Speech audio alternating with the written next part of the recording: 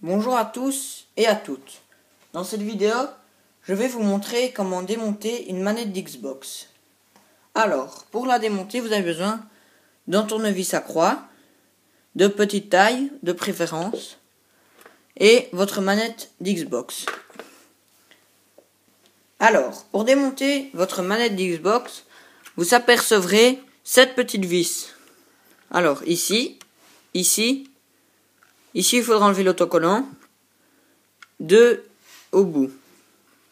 Alors, vous prenez votre tournevis et vous commencez à dévisser.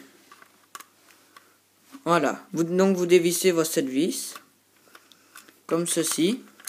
Attention de ne pas perdre les vis. Car ce sont des vis assez petites et peut-être dures à trouver. Voici.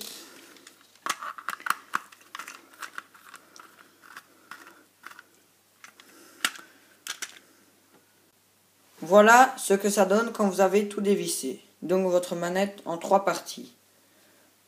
Le bas, le dessus et le milieu. Et merci de m'avoir écouté.